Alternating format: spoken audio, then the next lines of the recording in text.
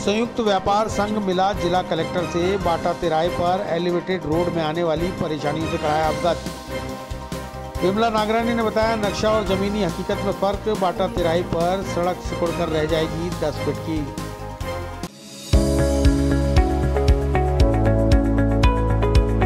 नमस्कार दोस्तों, मैं doctor Suresh Jay Singhani consultant physician, Shubham hospital Vaishal Nagar से बात कर रहा हूँ। दोस्तों 96 में जे मेडिकल कॉलेज से एमडी करने के बाद मैंने अपने ये संस्थान प्रारंभ किया था। तब से विगत 25 सालों से हम लोग लगातार जनता की सेवा कर रहे हैं। हमारे यहाँ अन्य बीमारियों के अतिरिक्त डायबिटीज़ थायराइड और गठिया रोग की विशेष जाँच और परामर्श की सुविधा उपलब्ध है। अगर आप इन किसी भी बीमारियों से ग्रसित हैं तो आप हमसे परामर्श ले सकते हैं। धन्यवाद।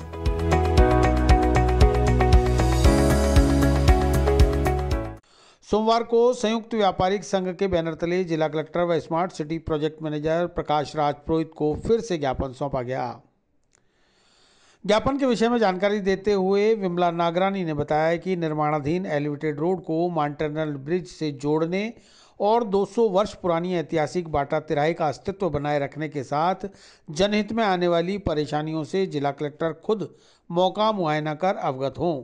उसके बाद कोई निर्णय लें।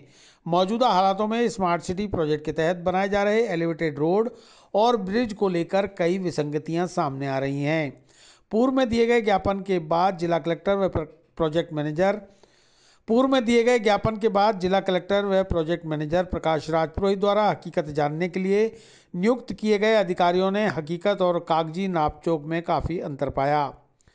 इसके बाद ये जानकारी जिला कलेक्टर तक पहुँच चुकी है। उनसे अनुरोध किया गया है कि वे खुद आकर वस्तु स्थिति का जायजा लें और निर्णय करें।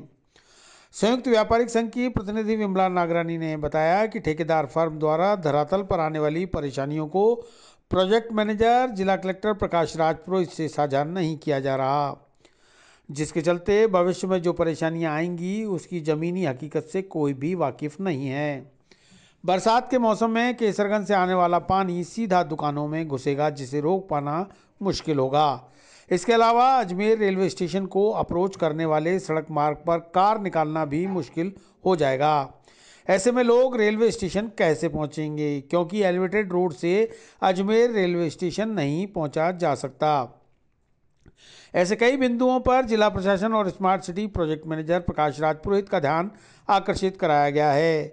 उन्होंने व्यापारियों की बातों को सुनकर समस्या समाधान का आश्वासन भी दिया है।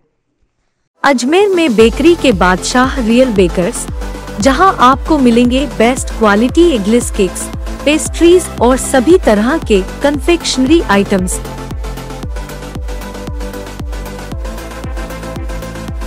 You tried the rest, now try the best. Real Bakers, near Collectors Residence Bank Colony चौराहा पुलिस लाइन अजमेर और near Kanak Shri garden Jawahar Nagar Ajmer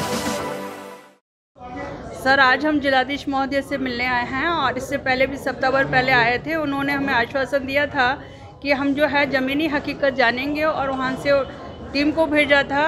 कि एलिवेटेड रोड की जो वजह बन रही है, वो ज़मीनी हकीकत को चेक करके आए। ज़मीनी हकीकत जब मैडम ने चेक की तो वो रॉन्ग पाई गई। ज़मीनी हकीकत अलग है और कागज़ी हकीकत एलिवेटेड रोड की अलग पाई गई। काफ़ी उसमें अंतर आया। वो आज हम लोग जिला महोदय को दिखाने आए हैं कि सर जो आपने टीम भेजी थी, ज़मीनी हकीकत और कागज़ी हकीकत दोनों अलग पाई गई हैं, जो उन्होंने उन्होंने खुद ने भी महसूस किया कि वाकई में हकीकत क्या है।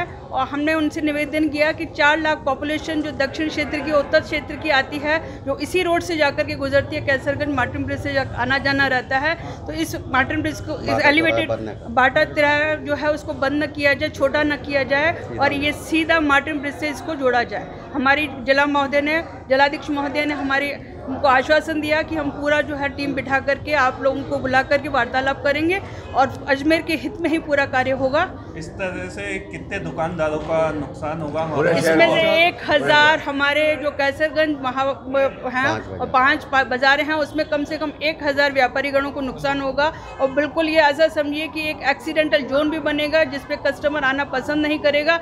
ऐसा समझिए हमारा दक्षिण क्षेत्र तो बिल्कुल अनाथ हो जाएगा। सारा डेवलपमेंट उत्तर की साइड ही होगा।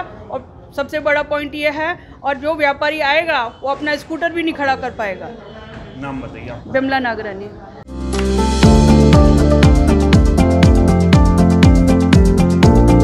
Mohan watch and mobile Ajmer शहर में चार प्रतिष्ठान आपकी अपनी मोबाइल की दुकान।